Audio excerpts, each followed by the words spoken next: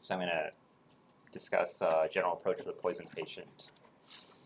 So just a kind of an introduction in terms of like poisoning epidemiology. So as many of you probably have heard, um, poison, poisoning deaths is kind of a public health crisis of, uh, of a greater or lesser magnitude depending on who you ask in the United States. So by um, 2008, uh, poisoning had actually exceeded motor vehicle accidents as the most common cause of injury-related death in the United States. And in 2010, there were about roughly 38,000, 40,000 or so deaths related to poisoning in the United States. And the, most of those, about 78%, were unintentional. And um, as probably many of you have heard, based off of uh, uh, based off of news media reports, most of those deaths uh, involve actually pharmaceutical agents and opioid analgesics being the most common. 75% uh, of those deaths that involve pharmaceuticals are actually related to opioid analgesics, and 30% involve benzos. So very common in, in uh, poisoning fatalities, and very common is like uh, co co-ingestants actually. Um, and as far as like risk factors for fatal overdose, men are about two and a half times more commonly involved in fatal overdoses than women, and people between the ages of 45 and 49 are uh, displaying the highest death rates as far as uh, fatal overdoses go in the United States. So main thing is poisoning is an increasingly common cause of death in the United States, and it's most common cause of injury-related death in the United States right now. So the thing is that um, poisoning is like a poisoning. If you look at it overall, it's a very high incidence but relatively low case fatality uh, rate. So the reason why the number of deaths is so high is because there's so, so, so many poisoning cases or no exposures, and most of them um, end fairly well for the patient. But just given the overall sheer volume, even though the overall case fatality rate is low, poisoning is like a, high incidence, uh, low, basically low, low overall case fatality rate type of clinical entity. And the reality is that most of the most of those deaths, um, you won't see them because most of those people are basically they're found dead at home and they never come to the hospital. They, they go straight to the morgue and they get entered into the, you know a CDC database and the CDC publishes the statistics. You will see some of the cases which are potentially salvageable, meaning that the, the patient has, as, as is common with poisoning, they have time, they have time limited organ dysfunction. So their organ dysfunction is typically mediated by a pharmaceutical agent or some agent that can be eliminated from their body provided that you provide supportive care and support their liver function, kidney function, and support their organs of elimination. Usually they'll get rid of the toxin, the organ, the organ dysfunction will resolve, they'll get better and they'll go home. So as long as they don't have really bad secondary injuries like anoxic brain injury, these patients are going to do rel relatively well provided that you provide them with meticulous supportive care. So um, as far as a general approach, as, as you might have gathered, the institution of, of appropriate supportive care measures is kind of the central theme of uh, poisoning management in the ICU. Um, toxidrome recognition and poison, identific poison identification is kind of a big part of it as well because it helps you institute appropriate supportive care. And sometimes focused antidotal therapy will be appropriate. Um, the reality remains, though, that there's a very small number of poisons that we actually have effective antidotes for. And for most of it, it's going to be meticulous supportive care, which is uh, our forte in the ICU. So as far as like what relevant patient history you might want to gather when you're dealing with these patients, um, obviously it helps to know what the agent is and the route of exposure, whether the patient was exposed by inhalation route, whether exposed by dermal route, uh, sub-Q or intravenous exposure to the drug, um, what was the timing of their exposure? How many hours ago were they exposed? So for th some things like acetaminophen, we have very good tools for risk stratifying them based off of what time they were exposed. So if you have an acute acetaminophen overdose and you know it's been X hours since they took their overdose, we can risk stratify their risk for um, significant liver injury very well. Uh, for other agents like hydrocarbons, we know that if you have uh, inhalational um, if you have an inhalation exposure to a hydrocarbon or a hydrocarbon uh, aspiration, we know that the patients who don't develop significantly respi significant respiratory symptoms within six hours or so, they tend to do very well as well. So we have some poisons which have been reasonably well studied and have risk stratification tools based off of timing of exposure.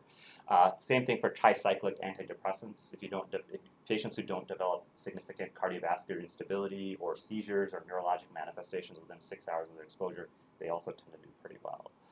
So also, in addition to timing and uh, the uh, agent if known, you also want to obtain um, history regarding what do they have access to. If you don't know exactly which agent you took, you can ask what do they have access to, what over-the-counter drugs were in their home, what, what herbal preparations, supplements, alternative remedies are they using, and of course, in gathering this data, the patient may be altered and unable to provide you with much history. So collateral history from the family, uh, EMS, or the pharmacy records of their filled prescriptions is going to be very helpful. Um, that's a that's a, one that's commonly forgotten. It's very easy to if you know that they have pills that they get from from Osco or Walgreens or whatever, just call them. They have a pretty good database. They'll tell you this is what they filled. As far as like initial care, there's like a mnemonic that uh, we were taught when I was a fellow. That's uh, and we used to tell the rotating residents to think about using in order to formulate their plan. So as with most things, airway, breathing, circulation, we, we talk about as uh, our initial supportive care measures. But beyond that, um, the D uh, for disability is essentially uh, think about their neurostatus and uh, beyond evaluating their neurological status, the, the, more, the more pointed aspects of the D part of the mnemonic as it pertains to toxicology is this do the don'ts. So if you have a patient with altered mental status, uh, check blood glucose, administer dextrose as appropriate, consider naloxone if there's signs of opioid toxicity such as pinpoint pupils or bradypnea present, and uh, give thiamine, uh, especially to our alcoholic uh, patients. So do the don't stands for dextrose, oxygen, naloxone, thiamine, and decontamination, which we'll talk about uh, uh, in, in detail in a little bit. The E stands for environment and enhanced elimination. So poison patients can be hypothermic, they can be hyperthermic. So make an assessment as to uh, environment and temperature dysregulation if present and manage appropriately. Enhanced elimination in terms of like uh, dialysis or other te techniques to remove toxin from their body we'll talk about in uh, in additional detail. F stands for focus therapies, which are antidotes, and the G is for get help. So if you have resources available within your institution, such as a pharmacist or a toxicologist, which you have here at Loyola, uh, it helps to involve them. And if you don't, then there's always your state poison control center to get help from. So we'll talk. This is very, real, very briefly. So I mean, in terms of airway breathing and circulation, there's a variety of toxins that can cause a variety of disturbances in terms of your heart rate, blood pressure, respiratory rate, um, uh, and and and so on. So uh, there's there's this this part is uh, a little bit less important because essentially uh, we'll hint in more. Um, we'll talk about things in things in a little bit more clinically relevant way when we talk talk about vital sign disturbances as they pertain to toxidromes, essentially. So. So the summary for this would be patients with toxin ingestions can have a variety of disturbances in their heart rate, blood pressure, and respiratory status, and stabilizing their airway, breathing, and circulation is going to be the first steps, which you guys already know. So in terms of the the D part of it, which is the do the don'ts and decontamination. So once you've made an assessment as to their neurological status, if you have uh, patients with altered mentation that's potentially attributable to a toxin ingestion, then when appropriate, uh, administering dextrose, naloxone for patients suspected opioid toxicity, and then of course thiamine for patients who may have um, malnutrition or alcoholism should be should be part of your first line therapies. Uh, it, beyond that, this issue of decontamination often comes up. So decontamination in the world of toxicology has been performed using a variety of techniques. So everything from gastric lavage, which is where you put a large bore tube down the esophagus into the stomach, and then you use a, uh, usually it's like a, a hand-driven pump to put uh, to put uh, warm uh, saline or warm water into their stomach, and then will try to air suction out whatever is in their stomach has been employed in the past. Uh, activated charcoal administration has been also uh, touted over the years as a means of performing decontamination. Activated charcoal binds to a variety of uh, organic toxins and hopefully prevents their absorption into the bloodstream from the GI tract. Um, the issue is that uh, the issue is that uh, none of these therapies has been really shown to uh, significantly alter the clinical course of a poisoned patient, and they all come with certain risks. So you might be asked like, you know, who would, you, and this is still like a test question that pops up, like who would you perform like orogastric lavage on? I have never done orogastric lavage on anyone, not as a toxicology fellow, not in the ER, and the reason why is because um, even though there is, even though there's uh, very little data to support it as having any efficacy, uh, expert opinion still recommends that oral gastric lavage be considered for patients who present within one hour of ingesting a toxin for which supportive therapies are very difficult to perform. So, like uh, I, a perfect example of that is if you have somebody who massively overdoses on um, like a chemotherapy agent or like colchicine, things which have multi-system like organ toxicity because they're cellular toxins, it's very hard to provide supportive care for a toxin that's going to damage their liver, their bone marrow, their kidneys, their heart. Um, those patients are, if they have a significant ingestion, they're going to die no matter what. So expert opinion still posits that if, they, if you present within you know one to two hours of a of a toxin for which supportive therapy is very difficult to perform, uh, that you consider doing orogastric lavage on them, provided that they have a secured airway. The problem is that nobody ever comes within one hour after they take anything. That's why, even as a toxicology fellow, I, I, I never did it.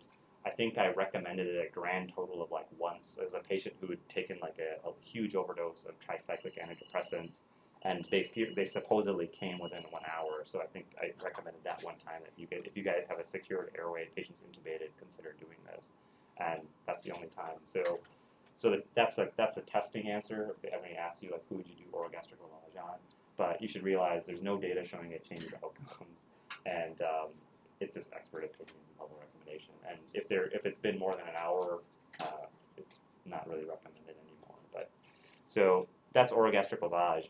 So charcoal, which is much more germane, because you will be faced with situations where you're being asked, should I give charcoal or should I not give charcoal, or the patient is in the unit now, and it's like, should I give them a dose of activated charcoal?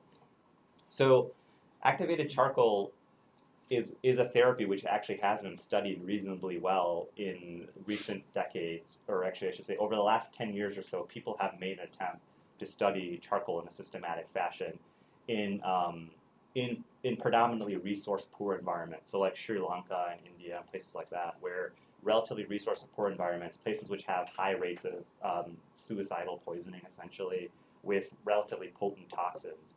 And they have attempted to study if in a randomized fashion, whether it's giving people charcoal or not changes outcomes. They haven't really found that to be the case.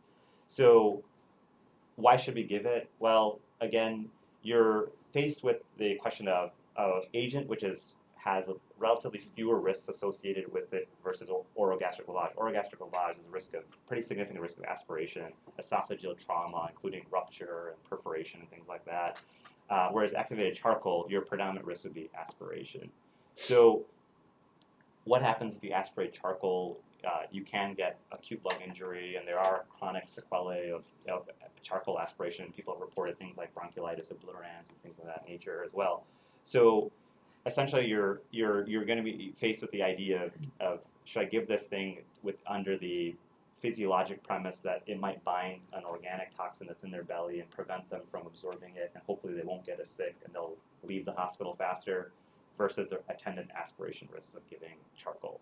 So the way I, I would, the way I have managed this, given that there still is a general recommendation to give activated charcoal to patients who present within uh, one or one to two hours, I would say, of a toxin which is uh, adsorbed by charcoal, that you should give them charcoal provided they've ingest, ingested an amount that is deemed to have the potential to cause toxicity. So something that binds to charcoal they ingest an amount that can potentially cause toxicity, um, and they present within one to two hours. I think it's reasonable to give them a dose of activated charcoal as long as you think that they're not going to seize, they're able to drink the charcoal on their own, and um, uh, and if they're not, if they have a protected airway, they're already intubated, they've already got an NG tube down.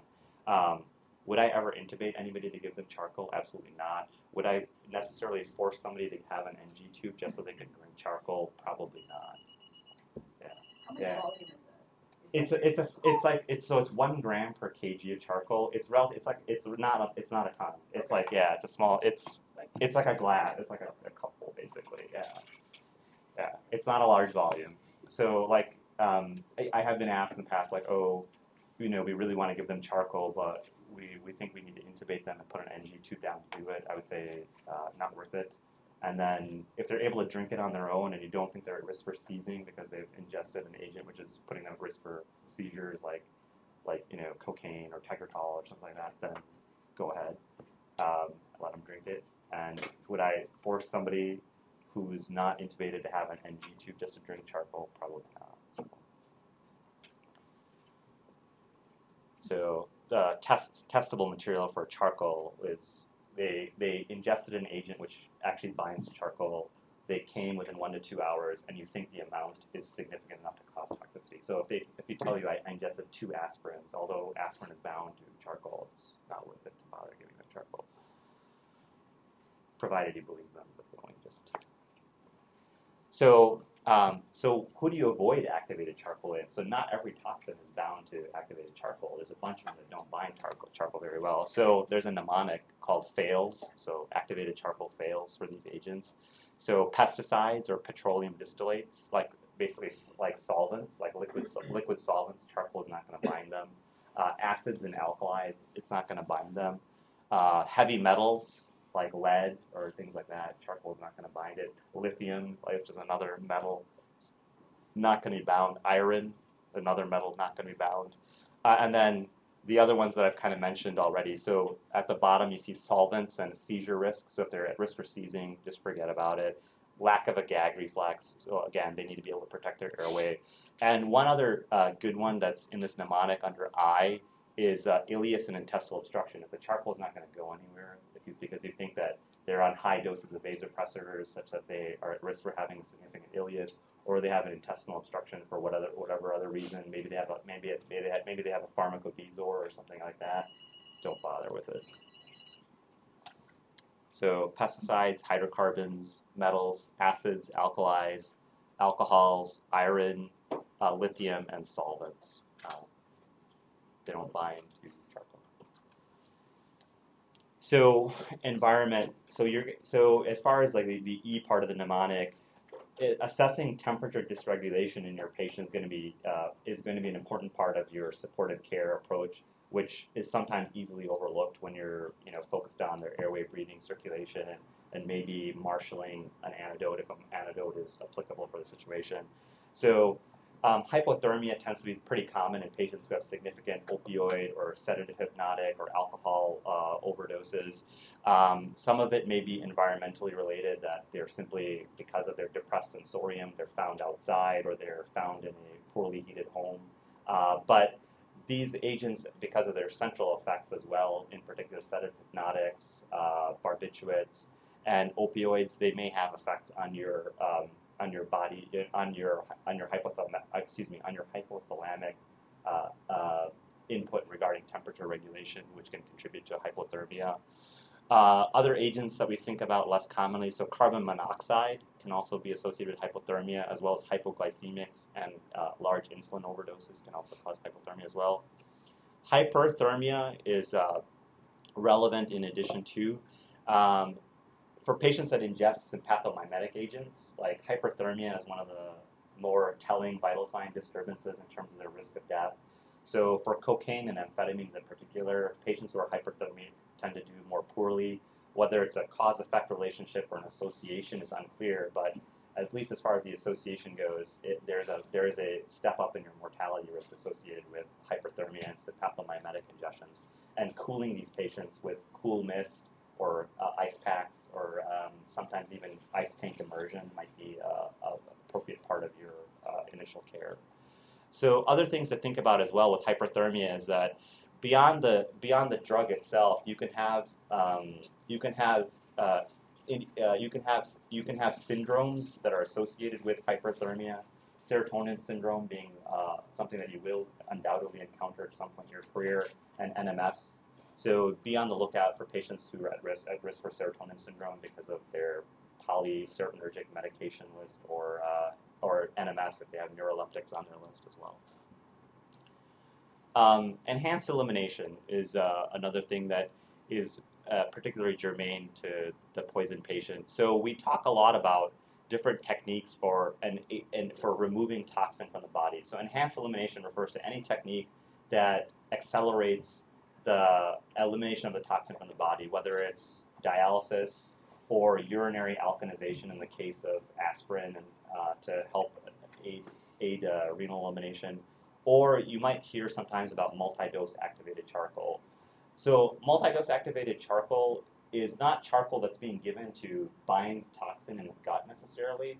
What it's being given for is um, by creating, uh, by giving charcoal recurrently, you will actually pull uh, drug back across the intestinal epithelium into the gut and bind it to the charcoal, and then it gets eliminated. So uh, agents which this has been shown for include um, phenobarbital, and the the way they uh, the way they actually the experiments in which they did this for phenobarbital is they actually gave the phenobarbital IV to the people, so it never entered their gut, and they just gave them uh, multiple doses of activated charcoal, and they tracked what their elimination curves were for phenobarbital versus people who did not get charcoal, and the people who got multiple doses of activated charcoal had uh, statistically significantly increased elimination of their uh, phenobarbital, even though, like I said, phenobarbital was given IV, it was never put into their gut. And the mechanism is that, again, you're, you're pulling drug back across the intestinal epithelium and binding to charcoal and eliminating it, because these drugs have, um, they have enteroenteric or enterohepatic recirculation, basically. So, so, so so which which drugs are there that are particularly uh, amenable to these techniques? So multi-dose multi-dose activated charcoal. So phenobarbital is kind of the the classically used example of that. Some people also use it for Tegretol. I've done that as well. So Tegretol um, also is, is, is amenable to multi-dose activated charcoal. Some of these other agents, aminophylline, theophylline, uh, you won't see as commonly, and there's other techniques we can actually use to get rid of aminophylline, theophylline that are a little bit uh, less messy than multi-dose activated charcoal. Dapsone, dapsone and quinine are also amenable to multi-dose activated charcoal. Urinary alkalization, the most testable one is aspirin. You need to know that, that, that if you have a patient with a significant aspirin overdose, if the patient has functional kidneys, um, one of the one of the techniques you can employ to increase their elimination of the drug will be to alkalize them with a bicarbonate infusion. So that's that's usually pretty testable. And then uh, which ones are amenable to being dialyzed? This is also testable. And some of these I suspect you guys already know. So aspirin is aspirin is very readily cleared by dialysis. The toxic alcohols, methanol, ethylene glycol, very readily cleared by dialysis. So uh, lactic acid due to metformin, I, I, have it on there, but uh, good luck convincing any nephrologist to do that for you. So some of them, if they believe that metformin has significant renal clearance. Uh, excuse me. So, so some of, so some of the nephrologists, if they believe that metformin has significant CVVH clearance or dialytic clearance, they might do it for you. Uh, I think the answer to that is controversial, and it's probably metformin itself, as far as the drug goes, is probably not very well cleared by CVVH or dialysis. And the lactic acid itself, the way I used to try to sell it is it's just supportive care. This is like this is a time limited uh, this is a time-limited toxicity. They're going to stop producing lactic acid. I know that the lactic acid clearance by CVVH itself is lousy. It's, it's, it's very poor. But um, um, unlike a patient with you know ischemic gut who's not going to stop producing lactic acid until they have a definitive management of their ischemic gut, the patient with metformin toxicity has is going to have a time limit toxicity. Once they eliminate the drug, their lactic acid will tamp, lactic acid production will tamp down.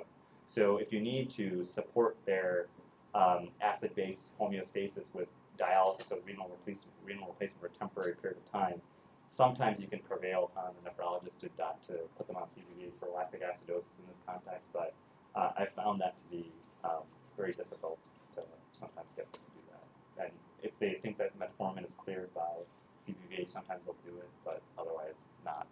But uh, other other drugs which uh, are also cleared by hemodialysis that are a little bit less commonly encountered, uh, theophylline uh, and aminophylline, you can clear them with dialysis uh, as well.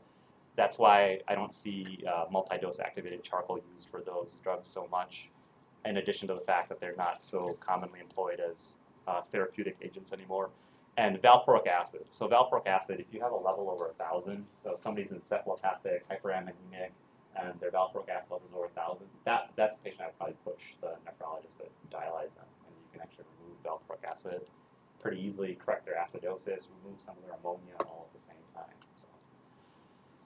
Um, charcoal hemoperfusion is a technique that has been um, endorsed in the past to remove drugs from the circulation that are highly protein bound. So dialysis is not very good at removing drugs that are highly protein bound in the circul- in the in the blood compartment. Uh, charcoal hemoperfusion has theoretical benefits in that regard.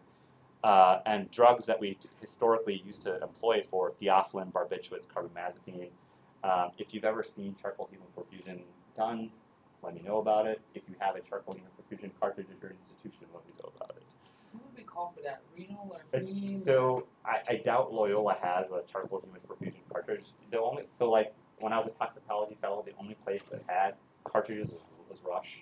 That was the only place in the city that had cartridges. was Rush. But what service would deal with Renal, renal. It's usually renal. that? Uh, It's usually not. Yeah. So you basically, you basically, the the hookup is like uh, a dialysis machine Oh. hookup. So you need a you need a Quinton and a dialysis machine type of setup, and then there's charcoal cartridges in the circuit essentially, and essentially the, the blood is going in. Um, protein bound drug is getting pulled off of the protein and stuck onto your charcoal column, and then yeah. Um, but like I said, Rush, like when I was a toxicology fellow, Rush was the only place in the city that had cartridges. Everybody else was like, we don't have any. So. And the workaround is that a lot of these drugs, in if so, there's nephrologists that will argue that in the era of modern um, high flux hemodialysis membranes and CVVH, uh, the filtration techniques they use for CVVH, and then for dialysis, for straight dialysis, the high flux dialysis membranes, that the clearance you get with those techniques rivals just charcoal hemoperfusion. So you know, it doesn't even matter that we don't have cartridges. If we want to get try to get the drug, we can try to use um, just CVVH with, uh, with, with uh, or uh, high flux dialysis.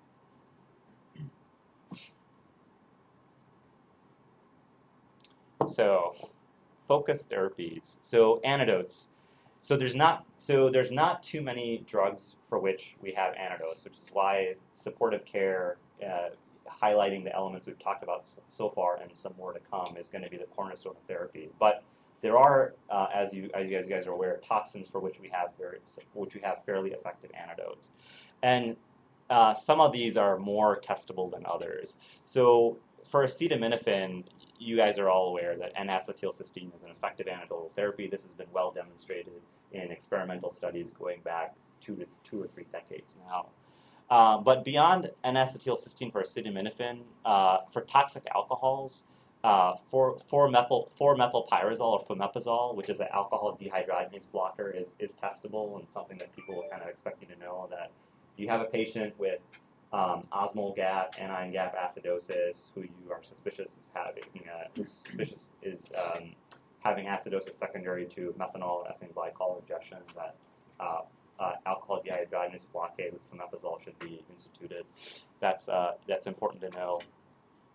For carbon monoxide, uh, people have talked about the role of hyperbaric oxygen in enhancing the eliminate or in accelerating the decline of carboxyhemoglobin levels in the human bloodstream.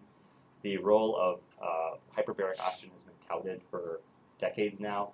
The problem is that the experimental data is is conflicted in terms of whether it actually changes your clinical outcome. The clinical outcome of interest for hyperbaric oxygen being does it prevent um, brain injury and yeah and uh, and and and cognitive or neuropsychiatric sequelae secondary to carbon monoxide uh, poisoning. Nobody's even trying to argue death prevention from carbon monoxide. They're, they're, what they're arguing is does it prevent brain injury, cognitive sequelae, neuropsychiatric stuff. And even for that, like the data experimentally, in, in at least in human studies, is back and forth. And uh, some people are starting to argue that um, unless it's like a pregnant woman or um, pregnant woman or a patient who has uh, significantly depressed sensorium, meaning they're like obtunded or comatose with a with a high carboxyhemoglobin level, they're not going to refer them for uh, hyperbarics. Now they're just going to do standard care with high, with uh, high FiO2 oxygen at the institution. So high uh, hemocarboxy uh, level, Yeah. is it an indication by itself if it's like 10, 20 percent? So if it, If so, it's like if it, go ahead. Sorry. yeah, I was reading Like Yeah. if it's five percent or less or ten percent, you don't use it. Yeah. But in some in certain situations, they say if it's 20, about 30, 50, yeah, 20 or twenty five percent, Yeah.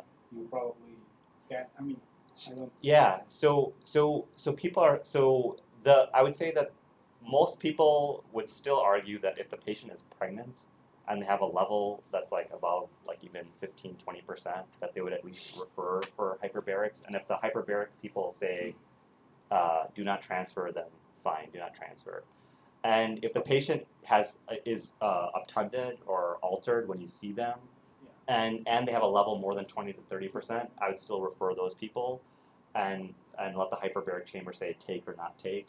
But leaving those populations aside um, for an adult who's not pregnant and doesn't have significantly altered sensorium when i see them like forget about if they syncopized before they came like people are even discounting that now you syncopized before he came discount it um, a lot of people are saying there's probably not much point in referring those people for hyperbarics But usually, if it's about twenty percent, the patient will go down. Like, No, not that's- necessarily. Yeah, yeah, not necessarily. And with high oxygen, would you ever intubate them to give them 100% FiO2? You're just talking about high flow. and So yeah, so I have, I've so usually if they're awake alert, I put a non-rebreather on them and just follow the level. And usually it will, it will. I mean, you're talking about you're talking about you're talking about 90 minutes versus for for reduct for half. For, you're talking about a 90 minute half time for the level for somebody that's getting a non-rebreather oxygen, um, or 100% FiO2 essentially. Versus if you if you theoretically sent them for hyperbarics and they got hyperbaric oxygen, you're talking about like like tens of minutes basically. So yeah.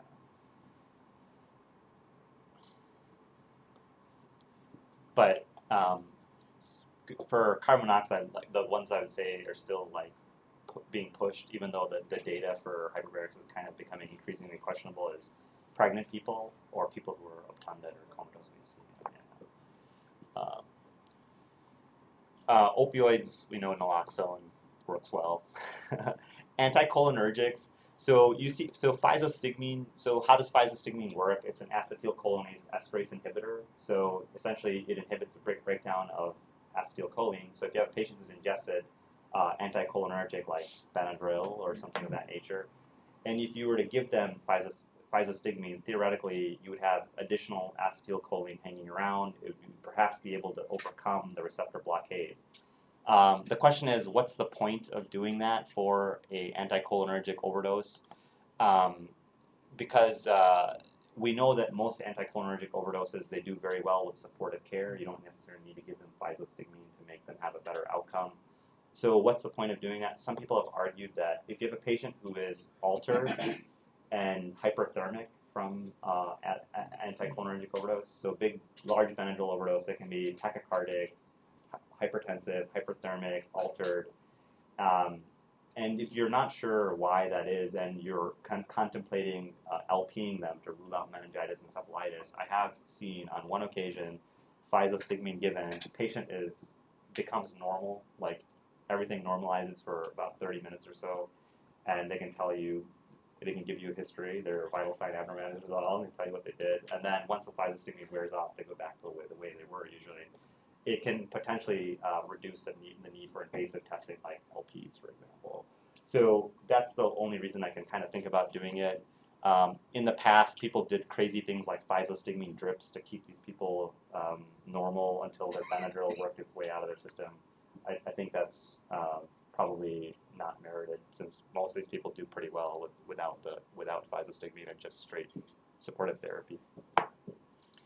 Um, organophosphates, uh, pesticides, as well as uh, nerve agents. So like nerve gases and nerve agents, which which sometimes come up in the context of testing as potential agents of terrorism, um, as well as organophosphates. They have the same kind of uh, mechanism of action they essentially deactivate your acetylcholine esterase. So they, they, they by deactivating your acetylcholine esterase, you have a huge um, surge in your body levels of acetylcholine. So people are usually drowning in their own secretions. They have bronchorrhea, copious secretions, um, and uh, respiratory distress related to that.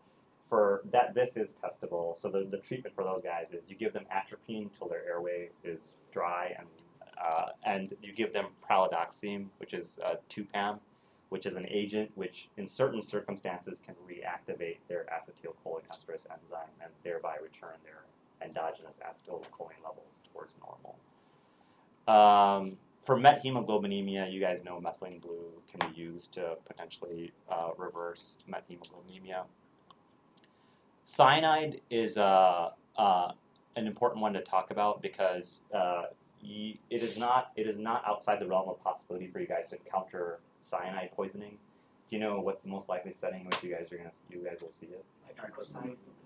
So that's one. So nitroprusside infusion is one, and there's another one that you guys will. Or like. Nope.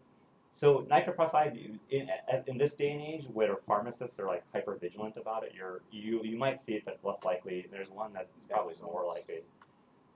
So patient with um, uh, patients intubated from a fire and smoke inhalation injury. That's the other one that you'll see it. So um, most common source of cyanide exposure for the general population is going to be yeah burning plastics exactly. So patient who is in a house fire burning plastics, they can get the double whammy of carbon monoxide poisoning plus cyanide poisoning from plastics, in addition to thermal injury to their airway and lungs and the associate, uh, associated consequences of just straight thermal injury to the lungs.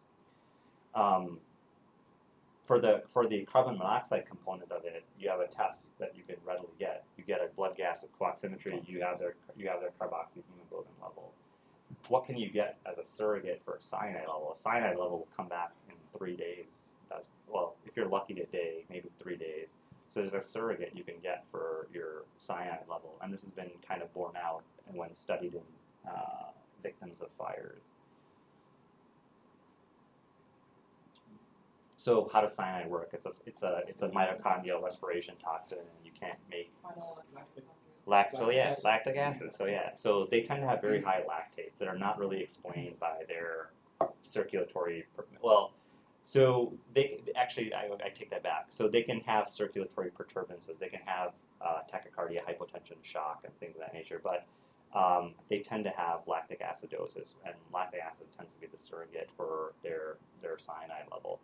In terms of antidotal therapy, people used to talk about that Lilly kit, which is you it, it has a it has a nitrate to excuse me it has a it has a it has a nitrite to induce uh, methemoglobinemia. The reason why is because uh, methemoglobin has a much higher affinity for cyanide than your regular hemoglobin does. So it basically pulls cyanide off your red blood cells and it sticks them onto um, uh, essentially carbon carbamino met hemoglobin. And then the second part of the Lilly kit uh, beyond the nitrite was like uh, sodium thiocyanate essentially, and that purpose of that is to enhance the elimination of this uh, of this cyanide moiety from this uh, carbamino methemoglobin essentially. Um, the good news is that um, most institutions now they have a much more uh, elegant and less clumsy uh, antidote for cyanide patients than the Lilly kit. Um, yeah, I, yeah, exactly. Hydroxycobalamin. Yeah, so most institutions in the United States have that now. It's um, it's pretty easy to give. It's less clumsy than the Lilly kit, and it, that the there isn't much systemic toxicity. There's like like the, the biggest problem with the hydroxycobalamin is it interferes with some lab tests because it's a very it's a very pigmented drug essentially. So some of your lab tests, like for bilirubin and things like that, they depend on spectrophotometry, and it in- interferes with that for a brief period of time until the drug winds its way out of your system, and your one and once the drug is out of your system, once the hydroxycobalamin is out of your system, this issue of lab interference is resolved. But in terms of like a remedy for cyanide poisoning, it's, easy to give, tends to be rapidly effective, and uh, so much so that if you go to France, for example, if you're in a house fire, they'll just and you're unconscious after a house fire, and you have evidence of smoke inhalation, they'll just give it to you empirically. So cyanide, basically, lactic acid is your surrogate for toxicity, and then your remedies are the Lilly kit, which is a nitrite and sodium thiocyanate, or uh, hydroxycobalamin, essentially. And then uh, iron, arsenic, lead, mercury. These are a little bit more esoteric chelating agents that I don't think you guys will be tested on so much. Uh, for digoxin, though, uh, uh, anybody? How many of you guys have given Digibind at some point? One, three. That's not too bad. So yeah, you guys have given Digibind. Um, it's clearly uh, aside from the risk of a rare, rare anaphylactoid or allergic reaction to the FAB drug, it's like a very, very clean therapy. Um, no side effects, and it removes your digoxin basically from the uh, from the table as far as an agent of toxicity within minutes. It's like a very elegant therapy for patients you think are having dig toxicity. And obviously, we have dig levels that we can get on a relatively timely basis to help guide this.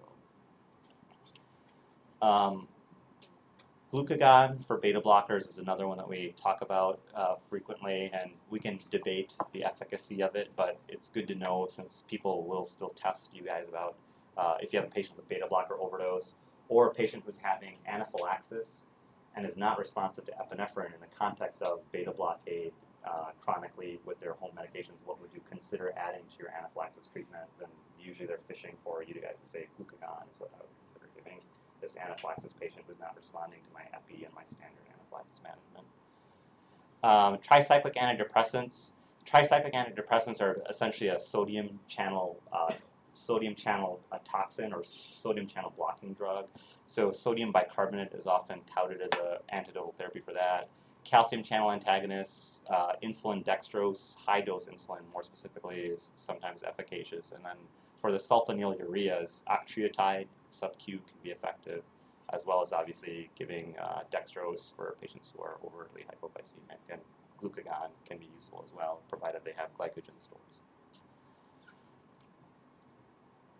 Um, and we talked about this briefly already. So at Loyola, we have, in terms of getting help and marshaling additional resources, we have toxicology. I guess Dr. Hanch is a, as available as a consultant. You have pharmacists as well if you're in an environment where you don't have in-house pharmacy or toxicology help to marshal, then there's always a state poison control center, which can be very helpful with uh, uh, marshaling rare antidotes.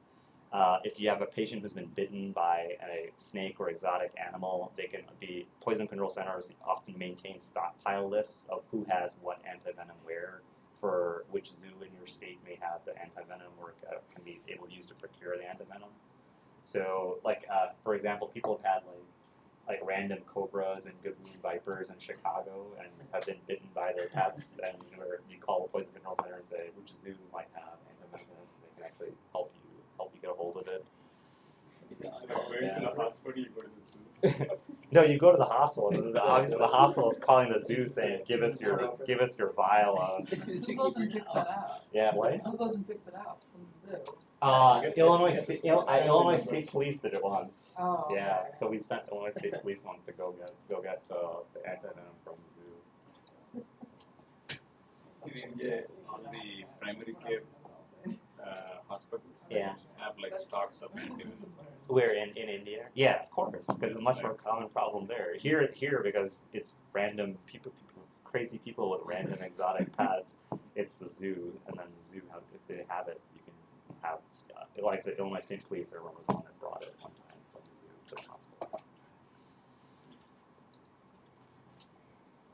Um, the other thing is uh, pill, pill identification is a nice one to kind of talk about too. So a lot of pills have inscriptions on them, and uh, the inscriptions, which are usually numbers or letters or some code uh, thereof, uh, can if you if you ask the poison control center or sometimes even your in-house pharmacist, they can they can often tell you, oh, this pill is this this drug based off of the inscription. So that's a nice trick if you have a, a pill to to use to figure out what exactly they took.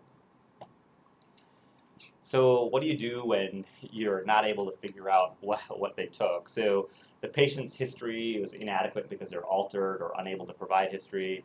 You asked the family or EMS, you tried to get pharmacy records and you couldn't figure it out. So historically, you know, or people talked about toxidromes and recognizing these toxidromes based off of some constellation of signs and symptoms to help you identify which agent was ingested. And classically, they talked about like five sometimes uh, six toxidromes. Like with withdrawal is the one that sometimes people don't count as a toxidrome, but if you count withdrawal, there's six. So an anticholinergic toxidrome, cholinergic toxidrome, sympathomimetic toxidrome, an opioid toxidrome, and an ethanol sedative hypnotic toxidrome. So although there's a variety of vital sign abnormalities in terms of uh, blood pressure, pulse, respiration, temperature, pupil size, uh, presence, or presence or absence of sweat that have been described in order to kind of help tease these apart. The caveat I'll put on this is that um, it only works well as a rough guide to kind of what group of toxin they might have taken. Like for example, how do you tell apart an anticholinergic and a sympathomimetic toxidrome? Because both of them can cause elevated blood pressure, elevated temperature, elevated heart rate, um, and altered sensorium. So what tells them apart? You know, people classically used to say, well, patients who ingest sympathomimetics, they tend to be very sweaty, they have axillary sweat, whereas people who, who ingest anticholinergics, they don't have, you know, sweat and they're not diaphoretic, so that, that's what tells them apart. And the anticholinergic people, they'll have, you know, urinary retention and dry mucous membranes and maybe things like that will tell them apart. The problem is that at the bedside, I don't know if it works that well, and I don't know how helpful it is at, at, making these fine distinctions at the bedside. It can help give you a rough clue as to what's going on, that maybe it's a sympathomimetic ingestion or an anticholinergic ingestion since they're tachycardic, hypertensive, hyper, hyperpyrexic, and so on. Um, and the reality is that even though historically people touted these toxidromes as the bedside tool to employ when dealing with an unknown ingestion, um, clinically if you focus your supportive care on airway breathing circulation, temperature dysregulation management, and uh, uh, work towards addressing these issues, I, I, personally, this is my opinion, fail to see how the recognition, recognition of a discrete toxidrome aids you above and beyond that. Um, that uh, ABC, uh, DE, like focused supportive care approach, which is more innate to us based off of the fact that we employ a similar thought process in a variety of forms of critical illness. So. The other big confounder for toxidromes is that patients who ingest uppers and downers at the same time, so a patient who ingests a bunch of cocaine and a bunch of benzos, um, they're not going to have necessarily a clean like sympathomimetic toxidrome or a clean benzodiazepine sedative hypnotic toxidrome. So, um, uh, and then patients, similarly, patients who ingest opioids and cocaine or amphetamines at the same time, it's not, it's not going to be a clean one or the other toxidrome. So um, people like to talk about toxidromes as the classically employed tool for helping you tease out what they might have taken if you don't know and can't figure it out. But uh, again, I think their bedside utility is questionable. Um, in, in, in, in, some of these things are probably a little bit less less relevant for us. But these are things that we used to talk about as far as clues for the recognizing the different toxidromes. So anticholinergic toxidrome, some of these things we've, we've discussed, they tend to have dry skin, dilated pupils, altered sensorium with delirium and hallucinations. They tend to be hyperthermic. Cholinergic, um, the, the, the, this one, I think because they tend to put it on tests where they want you to figure out the patient is exposed to like a nerve agent for uh, terrorism or an organophosphate they tend to have copious secretion, so bronchorrhea, bronchospasm, urination, uh, diarrhea, lacrimation, lethargy, salivation. So that tends to be a good, good, good way to remember cholinergic toxidromes. There's also a nicotinic uh, component of cholinergic toxidrome. So if you have acetylcholine sticking to nicotinic receptors, then these seizures, tachycardia, mydriasis, tremors, these fasciculations, these neuromuscular things tend to be a little bit more prominent versus the muscarinic ones with secretions uh, being more prominent. Um, as far as uh, like laboratory testing that you should consider getting in patients who are uh, being worked up for poisoning, um, some of these tests are more useful than others. Uh, I think the standard ones that we get, electrolytes, bicarb levels, BUN, creatinine, glucose, they can help uh, aid in diagnosis sometimes, but more more importantly, they can potentially guide your supportive care. Blood gas analysis is, is as you guys all know, it can be useful in analyzing patients who have suspected acid-base disturbances. Other things that you shouldn't forget is uh, pregnancy testing in females of childbearing age.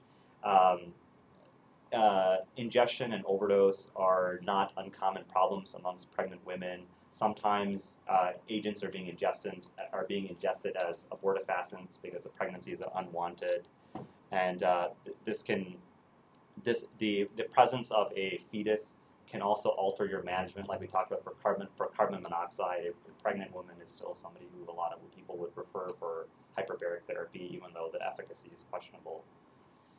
Uh, and then consider uh, Tylenol and acetaminophen levels in all of your suicidal ingestions. Uh, they tend to be very, very common co-ingestants because acetaminophen and salicylates are very, very commonly found in most households. So. Are there any antidotes that would be an abortifacient if somebody came in pregnant? So that's a really good question. So the one, the ones that people uh, hesitate about the most is like the chelating agents or uh, metals, uh, and giving those to pregnant people because uh, there's essentially no good data on them, and for most for for most pregnant people, with the exception of lead chelating agents, some of the chelating agents for lead have better data in young children and pregnant women. But um, the the reality is that even though there isn't good data regarding their safety, none of them have been shown to be none of them actually let me think carefully most most of the commonly employed antidotes even the heavy metal chelating agents to the best of my knowledge none of them have been shown to be abortifacients and the reality is that if the patient is if it's a pregnant patient dying from yeah from something then you got to save mom to save the fetus.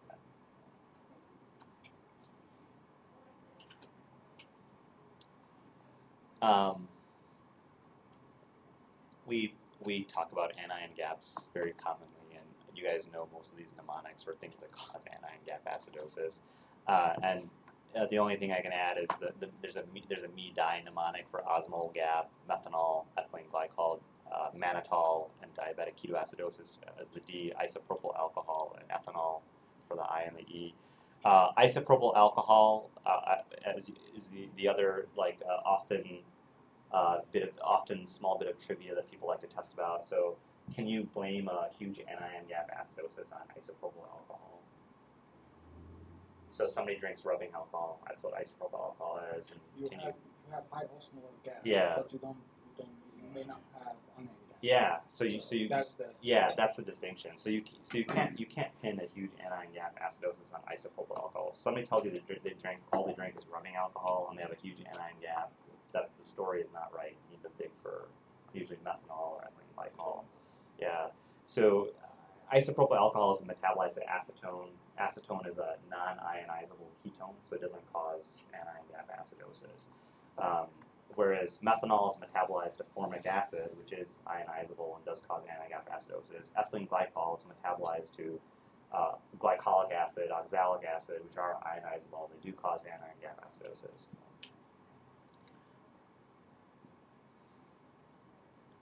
All right. So my my uh, the slide that generates the most controversy and uh, is it tends to be the most revealing for a lot of people. So drug screens. So getting a routine like qualitative drug screen, like a urine drug screen where it's positive, negative, or a variety of uh, variety of uh, street drugs and some pharmaceutical agents as well, um, is a very controversial topic in terms of the clinical utility. And the reasons why is because uh, most urine drug screens are fraught with false negatives and false positives, and the presence of a substance in the urine does not necessarily imply that it is causing the clinical presentation that you see in front of you. Why? Because the metabolites which are being detected by the urine drug screen may be the product of an ingestion that occurred five days ago. So it doesn't mean that that's what's causing the toxicity in front of you, although people tend to focus in once they see, oh, it's a positive amphetamine screen that the patient is the way they are because they took a bunch of amphetamines. Uh, and urine drug screens, although their their use tends to be discouraged as a routine test in cases of suspected overdose, the the problem is that they are nonetheless very commonly uh, ordered, and most people are, don't know how to interpret them really well because they don't realize that there's a ton of false positives and false negatives. So, having said that. Um, the ones that are pretty reliable is so the the urine drug screen if it's positive for THC it tends to be pretty reliable but who cares? Because most people are not dying from you know from marijuana when you see them. But if it's positive for cocaine that's usually very uh, very good uh, very good uh, sensitivity and very good specificity. So if if it's positive for cocaine they did cocaine at some point. Whether it was today or three days ago is a different question but it's cocaine. It's not something else that they may claim it may be. Um, and opioids, if it's positive, it helps you. It's they probably did truly get exposed to an opioid. Again, whether it's today or three days ago is a is a different question. But an opioid screen being negative doesn't necessarily mean that they didn't take an opioid. So do you guys know why that is? So I have some. So fentanyl, fentanyl, meperidine, methadone, propoxyphene. Propoxyphene is gone from the market now. Tramadol. They're all opioids, but none of them are going to make your urine drug screen pop positive. Do you guys know why? Because of the way they get metabolized and secreted. That's part of it. That's part of it. So the reason why is because your urine drug screen is built to detect uh, morphine. So it detects codeine and morphine. Well, codeine is essentially metabolized to morphine-related compounds. So it detects codeine, morphine very well. That's what it's built to detect. It detects drugs that are structurally related to morphine fairly well, and drugs that are entirely unrelated to morphine in structure, like fentanyl, methadone, oxycodone, uh, oxycodone even, and tramadol, you need to test for those things specifically. They're not going to make a urine drug screen pop positive most of the time. So if it's if a, if a urine drug screen is positive for opioids, they were exposed to an opioid very likely within some period of time uh, recently. But the presence of a false urine drug screen for an opioid does not rule it out. What could you do to actually tease that out if you have a clinical suspicion that the patient has ingested an opioid based off of your exam? They're they're bradypneic and have pinpoint pupils. Excuse me. So there's pretty easy bedside test you could do to tease it out, even if the urine drug screen is negative. Yeah, exactly. Give them a lot. So If they wake up and they have an unequivocal response where they're up and talking to you within seconds, then they took an opioid. Doesn't matter if the urine screen is. And this is another one that's that's revealing. So benzos, um, a lot of people don't know that uh, clonazepam and even Ativan and Xanax are not going to necessarily make your urine drug screen pop up positive. And the reason why is because the the the urine drug screen uh, benzo detection is built to detect um, oxazepam. It's built to detect, uh, which is a little bit odd, but the structure of oxazepam, which is also known as Serax, that's what it detects the best.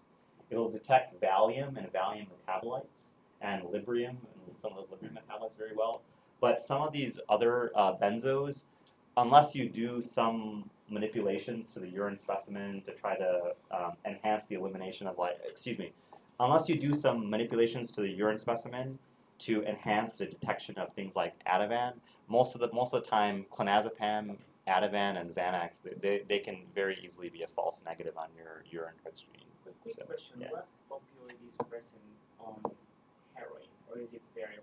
So Depending on the her, her, heroin is diacetylmorphine, so it gets it gets metabolized to morphine. It'll be detected. It'll be It, will be detected. That's the one Yeah.